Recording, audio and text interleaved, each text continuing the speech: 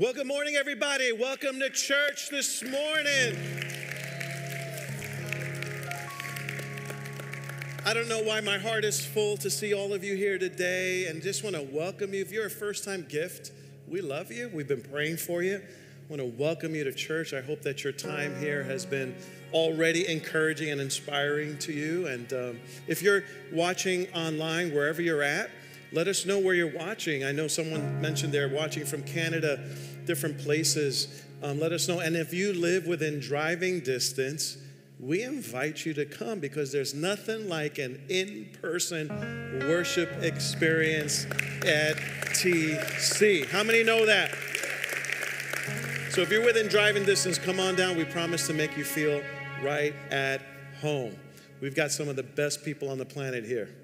My wife and I were just bragging on our Transformers earlier. We're like, man, we're just, I'm the luckiest pastor in the world. We are the luckiest to pastor you guys. We just love you. And uh, we're so great to see you. So, um, if you're just joining us today, we're in week two of the sermon series, Anxious for Nothing. Let me tell you what we're doing in this series. We are declaring war against anxiety and worry and fear. Things in life will make us worried, but how many know that we do not have to allow anxiety to dominate our lives? So, my prayer for us this morning is that we see peace increase and anxiety and worries and fears decrease. And that we learn the biblical truth by Dr. Paul, who gave us the prescription for anxiety. That we learn the truth that we do not have to be anxious for nothing. And let me just kind of fill you in on where we're at. Last week we discussed the problem of anxiety. Do you know that anxiety is the number one mental health issue in America today? And it's impacting not just adults, but young people young people, high school students, are struggling with an anxiety level that's higher than the average psychiatric center patient in the 1950s. Studies show this was pre COVID. We also have one of uh, FDNY EMTs. Um, he's a chief in the Bronx, and he said, Pastor, you also want to make mention that Anxiety's hitting young adults. Suicide is on the rise. And we're seeing anxiety take its root in our hearts. But I just want to tell you today that regardless of what you're struggling with and what you're feeling today, there is hope. There is a way out. You don't have to be dominated by anxiety, but instead, we can have victory over anxiety in our lives. Now, in this series, I'm not so much talking about medical or chemical anxiety, in which people need prescription medications because of a chemical imbalance. That is a real thing, and it's we can't spiritualize everything. But I want to talk to you more about situational anxiety. When we feel like situations that come across our path are so great that we be, we're overcome with worry and fear you know, last week we defined anxiety as angst, dread, worry. Anxiety is like a meteor showers of what ifs and it impacts our lives. But I'm grateful for the Word of God, the scriptures by Dr. Paul, who prescribes the remedy for anxiety. And this is what I've asked you to do. I've asked you to read this verse, these verses for 21 straight days and allow it to marinate your heart and mind. This is what we're going to be talking about next couple weeks, and we talked about it last week. It's found in Philippians chapter 4. Now, now remember, Paul is writing this with handcuffs on. He's sitting on death row. Okay? I don't think any of us are here on death row. But he's sitting on death row, uncertain about his life. He's been beaten. On his back, there are wounds, there's scars of the years of beatings that he took from the Romans. And the first thing out of his mouth is what? Rejoice. Isn't that awesome? Rejoice in the Lord always. And he kind of knew our response. he, he wrote, Rejoice in the Lord always. And we, our response is, What? You know what I'm saying? Let's practice. Rejoice in the Lord always. And I will say it again rejoice. Exactly. Then he says, Let your gentleness be made evident to all. I love how he repeats it. The Lord is near. You may feel like God is distant, but he's not. He's near. He's with us. He's with us. Do not be anxious. Why don't you say that with me? Do not be anxious about anything, but in every situation by prayer and petition with thanksgiving, present your requests to God. And watch this, watch this.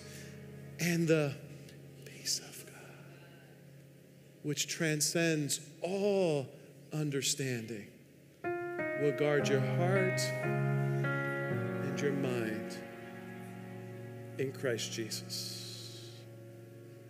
Lord, we speak peace. Finally, my brothers, whatever's true, whatever's noble, whatever's right. Why don't you say that with me, okay? Whatever's, whatever's, whatever's, whatever's, whatever's, whatever's. Okay, this is the word I had problems with last week. Is it admirable or admi- admirable? Admirable, hands lifted. Admirable. You're right. Coming against the pastor like that. Come on now. You're correcting the pastor. She's right. Most of the time, she's right. What does he say? Think about such things.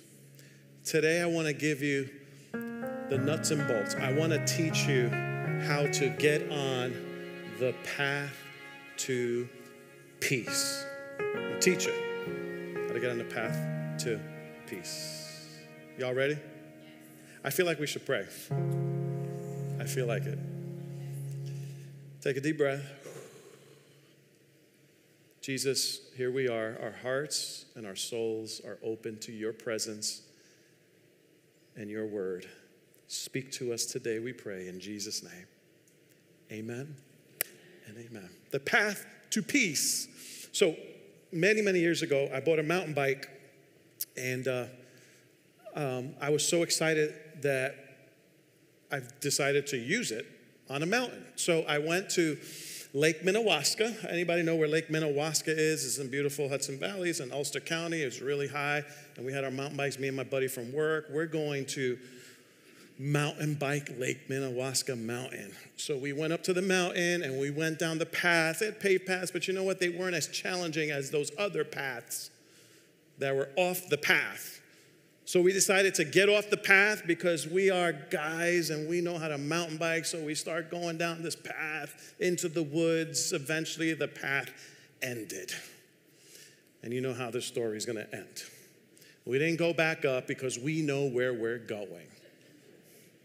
Several hours later, we are wandering in this wilderness at Lake Minnewaska in the mountains, wondering where the heck are we? And I be honest with you, I was calm and cool. Oh, we'll find something somewhere at some moment. But then you notice the sky is beginning to get a little dark. It wasn't dark, you know, the sky starts changing, and you're realizing, oh, snap this might be my last day alive on earth. Because you know, you listen to these newscasts, people are lost in the wilderness and they die. So I'm like, dude, we've got to find a way out. At that moment, I wasn't so anxious, but you know what? I started feeling some nervousness, some fear, some anxiety until I saw a road. We finally got to the bottom of the mountain, wherever we were, we saw a road which brought real excitement to me at that moment and took us another couple hours to climb up the mountain through the road. And I got to thinking about the path to peace, and I kind of got thinking about anxiety, and I thought to myself, you know what? That's a great picture of someone who's struggling with an anxiety. Because people who are anxious feel like they're wandering in a wilderness with no way out. They feel like they're lost and overwhelmed, and the darkness is gonna begin to settle in, and panic begins to settle in. And people that struggle with anxiety dread what might happen, and they fear death and they fear life sometimes. And I just wanna encourage anyone who's struggling with anxiety, struggling with depression, who feels like there is no way out, I just want to encourage you and tell you there is always a way out regardless of what you're going through, regardless of the hopelessness and the weight and the despair and the anxiety that you're feeling, let me tell you, there is a way out. If Jesus is still alive and we declare and believe that he is, how many know that there will always be a way out?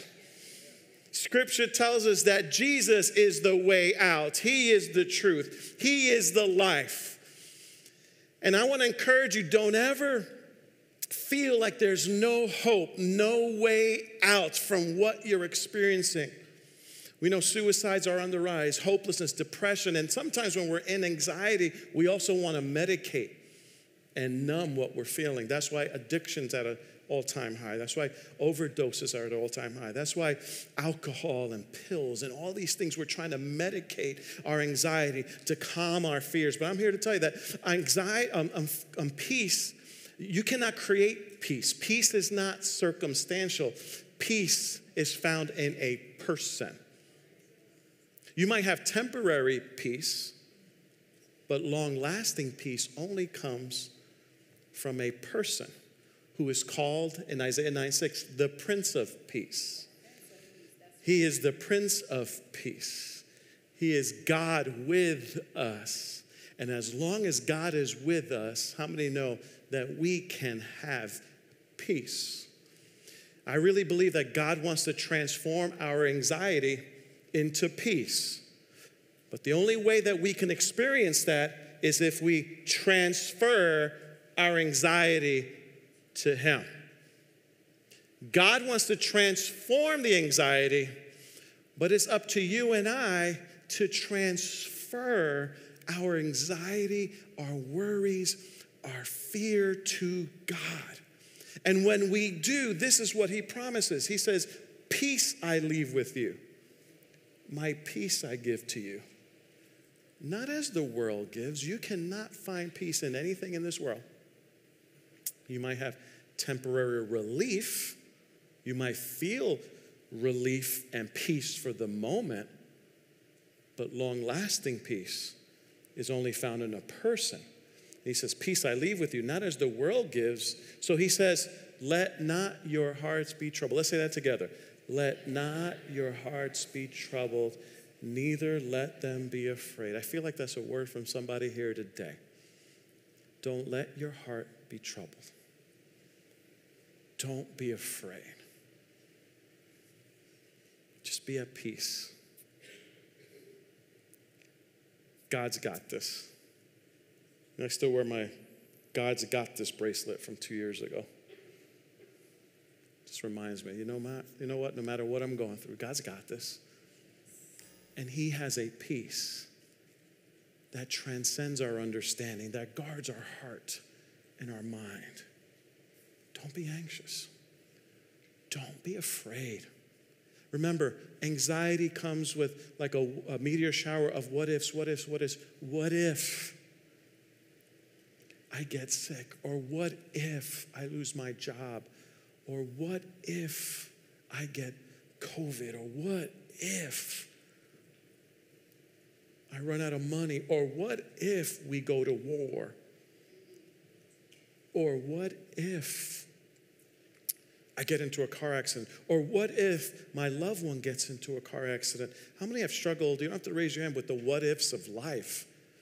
And that's what anxiety does. It's this low grade of fear that's constantly running through our minds, those what ifs in life.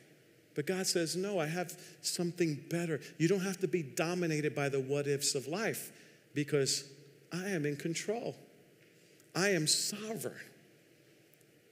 I will provide for you, I will meet your needs. I am your God. Don't let your hearts be troubled.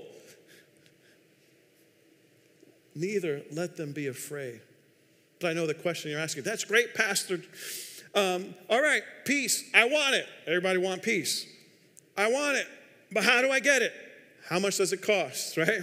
How do I get this peace? And that's a question we're all asking.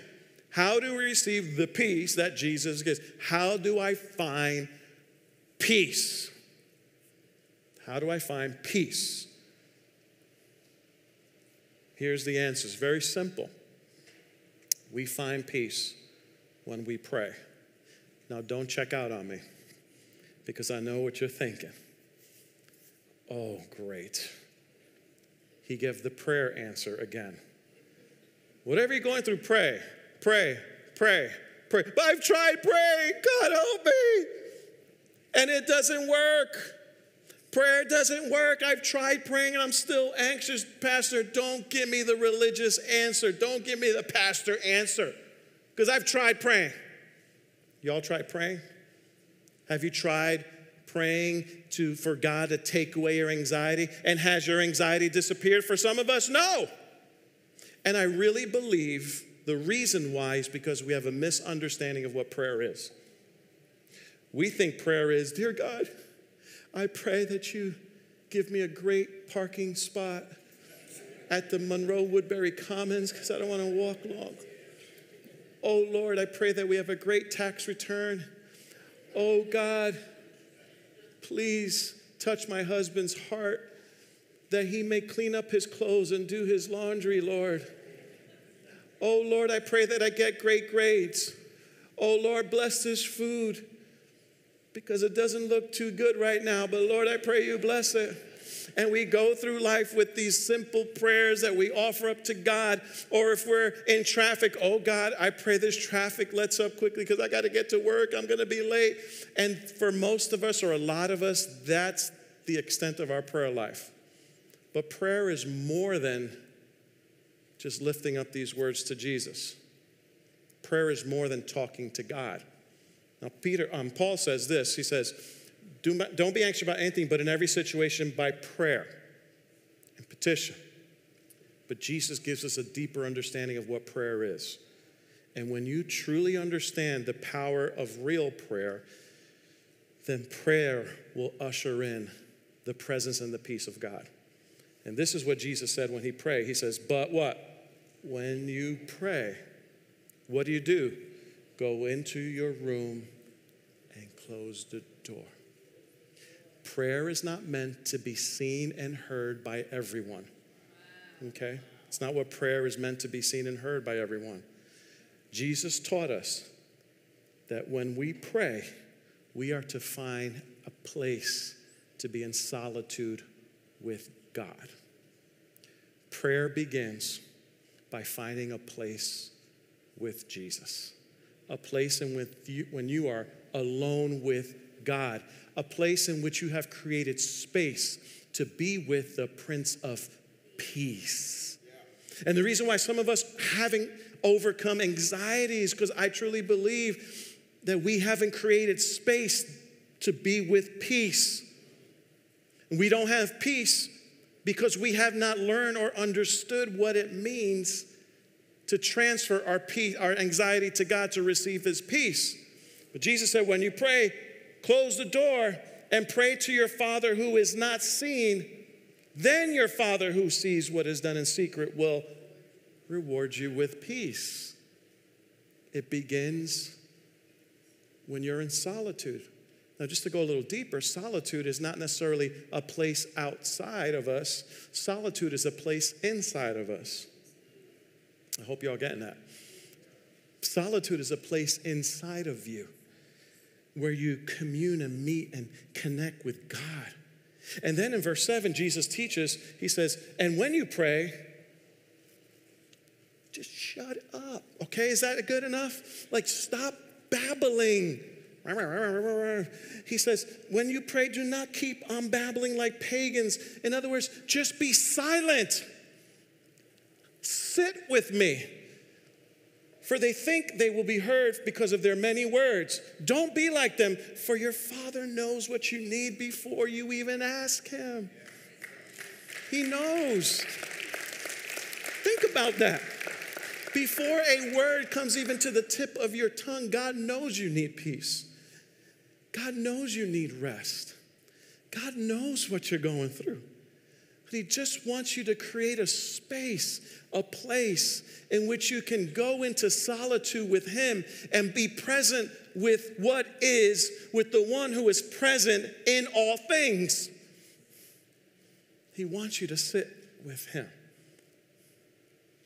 He knows what's on your heart.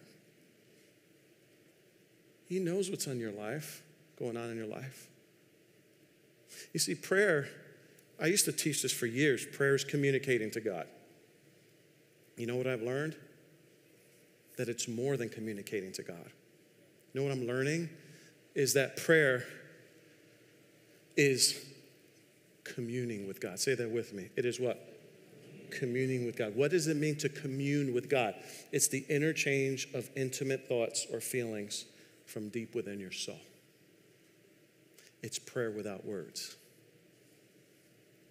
It's prayer that comes from your soul. It's a connection with God that you have that's not external, it's inside of you. Why? Because we are the temple of the Holy Spirit. God's presence dwells in you. And what God wants us to do is slow down our lives, create space to be present with the one who's the ruler and in control of all things, and commune with him. Share your thoughts and your feelings without words. Speak with Him. So, how do we commune with God? Well, we commune with God in solitude. That's what I'm teaching, right? In solitude. Solitude is when Jesus says, Go to your room, close the door, and pray. But solitude can be not just in your room, solitude can be at the lake. I love on, on my Sabbath, I love to go into nature, and I love the trails, and I love to be outdoors. And and those are my, some of my deepest moments of solitude with God. Solitude can be in my car. Solitude can be in my bedroom. Solitude is a place and a space that I've created and opened up uh, where I open up my soul to be present with what is and with God. Notice what he says in Psalm 46 10. He says, What? Be still and know that I am God. How else would we know that He is God unless we took time simply to be still? But isn't that hard? Yes. Right now, some of you are like exercising incredible discipline to be still because we're active people. Right? We're on the go. And it's hard to be still. But God is saying, no, be still and know that I am God. Silence, solitude, and stillness are a way that we commune with Jesus, a way in which we transfer our anxiety to Jesus, a way in which we open up our soul to Jesus and experience the peace of God. You know what I'm teaching you? I'm teaching you that peace is not a feeling, peace is not a circumstance, peace is a practice.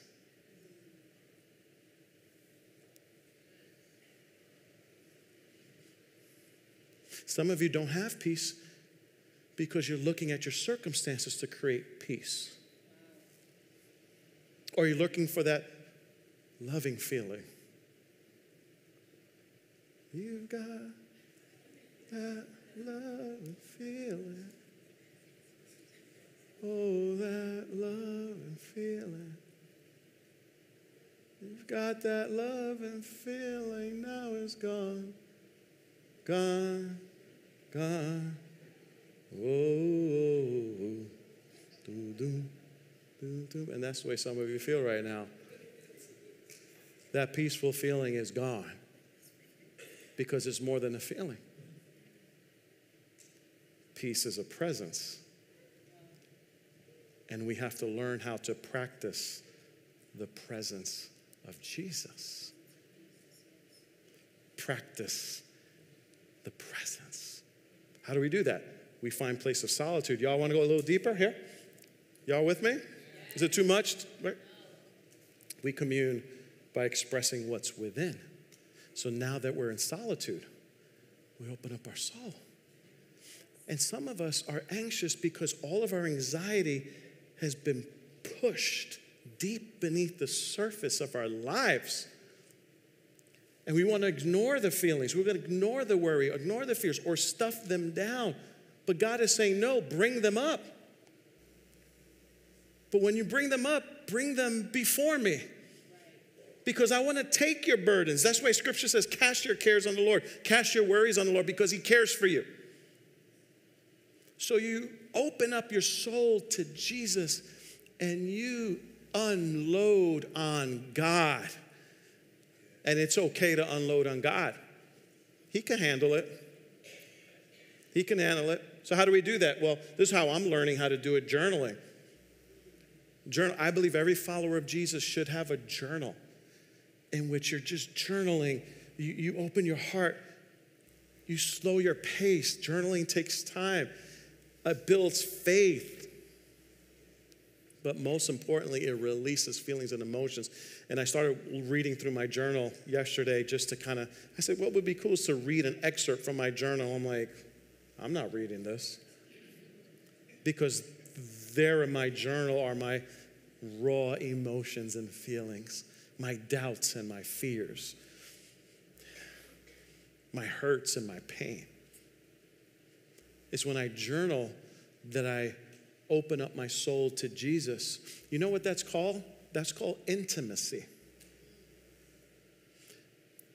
God wants, I remember this just sitting with Jesus. You think He knows what you need, but sometimes He wants you to bring what you need to Him. Not necessarily with words, but with your emotions, with what's happening in your soul. But let me continue because you can journal, but you also prayer. Prayers with words, the second deepest level of prayer is without words. But the deepest level of prayer is prayer from your soul that comes from a well within you. Sometimes those prayers, that's why Paul says that sometimes the Holy Spirit will pray in and through you without words, but with groans. Groans. The groans of the Spirit. You pray in the Spirit or you just unleash your soul, what's within you before God. This is how we commune with God. It's more than saying the Our Father, which I, I pray, and I pray often, but it's more than just praying the Our Father. It's more than doing a Hail Mary.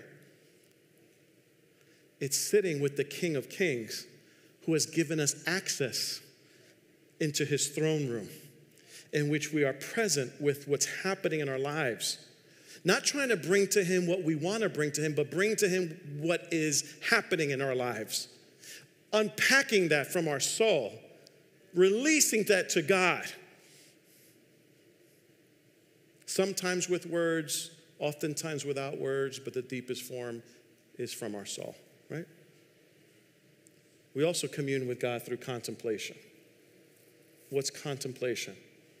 It means to look thoughtfully for a long time. Look thoughtfully for a long time. God wants us to contemplate on His Word, the Word of God, the Scriptures. He wants us to contemplate on His presence. He also wants us to contemplate on truth. You see, what's happening, listen, some of you are wired for worry. See, what happens is your brain creates pathways. And if, if you walk off the path of worry, I mean, off the path of peace for a long time, you're going to create a path of worry in your brain. On the sides here is called the amygdala. The amygdala is where we react to things in life, and um, anxiety is often said that it's a it comes from a toxic or hypersensitive amygdala. In other words, if you watch something in the news, oh my gosh. If you hear something, you receive a call, from somebody and, and they're saying, you know what, I have to go get a test. You know, they have to test to see, oh my gosh. And we are wired for worry, but God wants to rewire our brains for peace. That's why Paul teaches in Romans do not be conformed to this world, but be transformed by the renewing of your mind. How is your mind rewired for peace? Through contempla- contemplation. That's why Paul says, finally, my brothers and sisters, whatever's, whatever's, whatever's, whatever's, whatever, whatever's, whatever's, think about such things. Think about it. Get a hold of your thought life. Flip the script. Don't allow your thoughts to run wild. Keep your mind focused on what is true. It doesn't say, finally, my brothers and sisters, whatever is on CNN, whatever is on Fox, whatever is on MSNBC, whatever is on CBS, whatever is on the news, think about those things.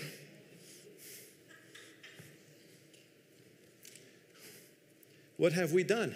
We've wired our minds with fear and anxiety by what we've presented in front of our minds. That's why the Bible says, do not put anything that's vile or vulgar before us, because the eye is the lamp of the body.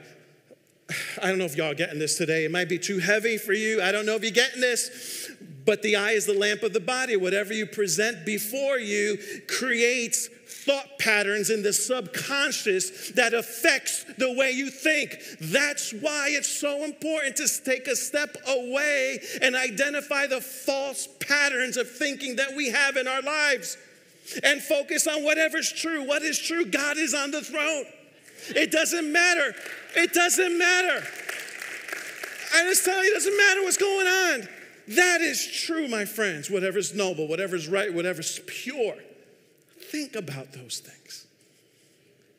Flip the script. Don't let your minds run rampant. Don't let your minds go rampantly, right? Flip that script. Whatever's pure, whatever's lovely, think about those things. Think about it. And when we do, watch our anxiety be transformed into peace. So we don't have to live anxious lives. We don't have to be dominated by anxiety. We take hold of our thoughts. That's why the scriptures say take every thought captive and bring it under the submission of the truth of Jesus Christ. That's truth. So, this last, really, as we close, I'm going to present to you a picture of a person who has been transformed by peace. Someone who has been going through struggles and has been transformed by peace. Listen to this. Ready? This is David. David in the Old Testament, listen, he shared his prayer journals with us. He shared all of his thoughts and feelings. And David was being hunted down by Saul. He was hunted down by armies. He was running for his life most of his life, early life, young adult life. But this is a picture of a person who's ruled by peace. Y'all ready? Here we go. When besieged, I'm calm as a baby. When all hell breaks loose, I'm collected and cool. Come on, somebody. I'm collected and cool. I'm not going to get worked up. I'm not going to get triggered. And if I get triggered, I bring that trigger under the submission of truth. Submission of truth that God is for me, that God is working on my behalf, that I have virtually no control of the things of life. that God lives in me. And greater is the one that lives in me than anything I'm facing in this world. And God is for me, He's not against me. So when I'm besieged, the New International says when, when war breaks out against me, I'm calm as a babe. I'm collected and Cool. And now he asks God, he says, This one thing I'm asking, not to live without worry. He says, This one thing I'm asking, and only one thing, to live with him in his house my whole life long. And it's there that I'll contemplate his beauty. I'll look long at his beauty. And I'll study at his feet. That's what Paul says. Paul's taught that, right? Now David's saying it. David's saying, I'll contemplate his beauty. That's what you need, church. You need to learn how to practice peace and how to practice his presence. Because when you take a step back and you sit with God and contemplate his beauty, the peace of God begins to flood your soul. And then, and then David says, you know what? Because that's the only quiet, secure place in a noisy world. It's the perfect getaway from the buzz of traffic. David. Contemplate his beauty. Sit at his feet. Learn to practice his presence. Peace is not a feeling, peace is a practice. Peace is a practice. Peace is a practice. So let's recap real quick. I'm going to go back. So when we commune with God, we commune with solitude, right? This is what I want you to do this week. I want you to find a place of solitude. Begin to practice peace. Place of solitude with God. Not just on Sunday, but throughout your week. And then when you're in solitude, I want you to be still and know that He is God. And then when you're still enough to know that, I want you to express what's within your soul. You could do that through journaling, or you could do that in prayer. But most importantly, I want you to contemplate, take a long, thoughtful look at your God, at His Word, at His truth for you. And then I want you to rewire your brain by thinking about what is true, what is noble, what is right, what is pure, what is lovely, what is admirable. Think about such things. And then, when, I'm, when you're besieged, guess what? You can be calm as a baby. You can be collected and cool because you're contemplating His beauty. And the reality is, church, that's the only quiet and secure place in the world. I leave you with Psalm 91.